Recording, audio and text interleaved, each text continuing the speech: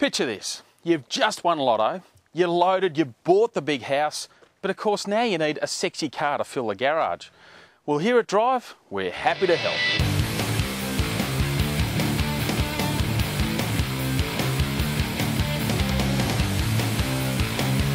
Meet four of the fastest, most desirable cars in the world, starting with a true classic, the Porsche 911. Straight onto its understated rival, the BMW M3, which now comes with V8 power. Onto something a tad more overt with the Lamborghini Gallardo, a true classic supercar shape. And something of a young upstart, also got the looks on its side, the all-new Audi R8. But looks aren't everything. Which car would you put in your million dollar garage? Let's hit the road to find out.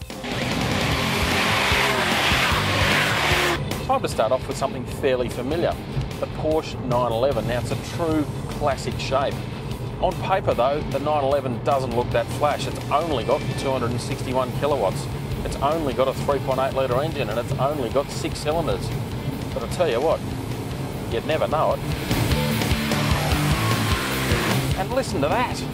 How good's that sound? It's not classic anything other than classic Porsche.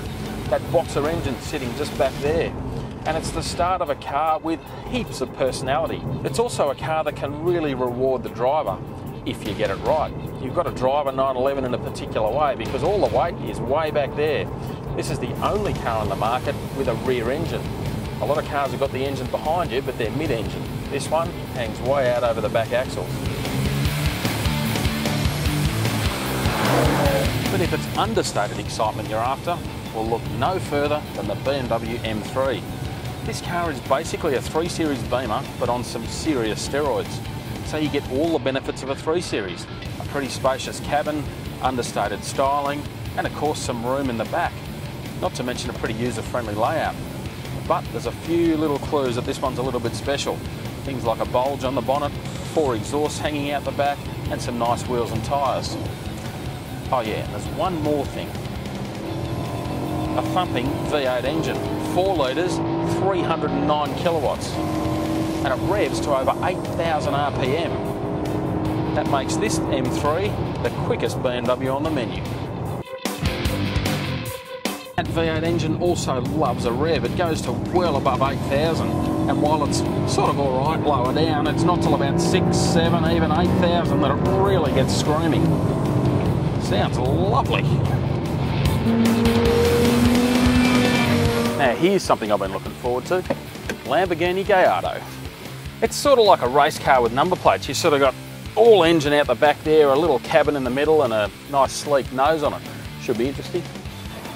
That also means it's not the most spacious or comfortable car in the world.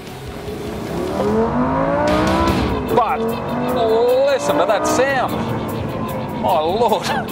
Now, I don't need a stopwatch to know that this is by far the quickest car we've got here.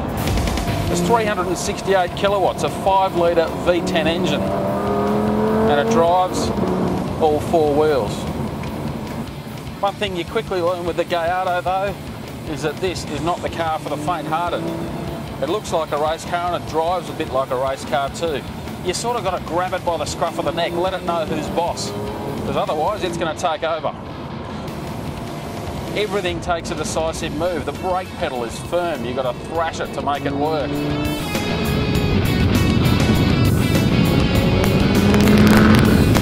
Plus, it's a $400,000 car and still you miss out on a lot of the goodies you may expect. Things like cruise control, it's just not here.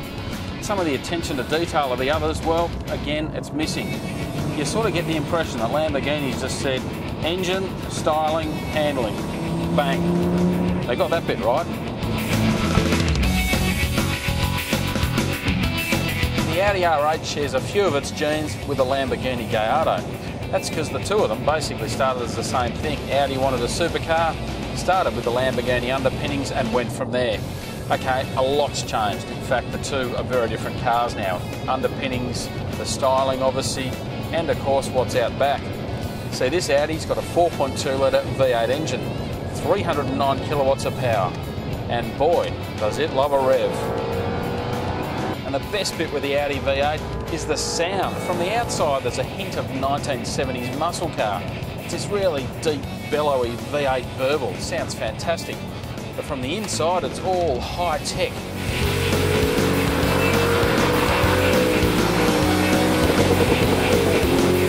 Top speed, a thoroughly illegal 301 kilometres an hour. That makes this the fastest, most exclusive, most desirable Audi ever. You'll already have to wait till 2009. Then again, not everyone's going to want an R8 because it's also one of the most expensive Audis ever. This one I'm in's close to $300,000, about 275 grand. But for that, you get absolutely everything. An awesome interior, plenty of equipment, and lots of the sort of equipment that you'd be paying extra for in the other models. Well, what an awesome way to spend a day. But now it's time for the critical question. What's the best way to spread your newfound loot? Well, I'm going to start with the fastest, arguably the sexiest and certainly the most expensive car here, the Lamborghini Gallardo. Now therein lies a bit of the problem. It's so expensive and it's so fast that really you need your own racetrack to, to really enjoy it. And I've only just won Lotto, so I can't afford that yet. I don't know if I can live with it day to day, so it's on to the next one, which is the Porsche 911. What a wonderful car. It's so easy to live with day to day. It's fast, maybe not as fast as everything else here, but fast enough. It's comfortable, it's got a practical cabin, and it's also got more character than just about any other car I know. If someone said you can only have one car, that I reckon would have to be pretty close to the mark. But don't forget, I've won Lotto, so I could probably afford more than that, which brings me to the BMW M3. Now, I never thought I'd say this. It's $160,000. That is a performance bargain. It's quicker than the Porsche. It's so easy to live with day to day and it just slinks into the traffic. You don't stand out. It's unreal. It really is an awesome car. Still, I've got this one to contend with, the Audi R8. Now, I've come up with a bit of a solution here. You see, this car, I think, is just about the sexiest thing here. It's like a work of art. Audi seemed to realise early on that to even be on the grid with these mega million dollar buyers, you need something that stands out, and stand out it does. And here's something I love. The engine is like a work of art. It's on display. It's like a museum piece. There's only one problem with the R8. I just don't know what it is, but I couldn't see myself living with it all day, every day. So I've come up with the perfect solution. The BMW M3 is going to be my weekday car, the everyday car, the one that's easy to live with. The Audi R8, the weekend toy. Perfect. There's only one problem with the whole scenario. I haven't won Lotto yet.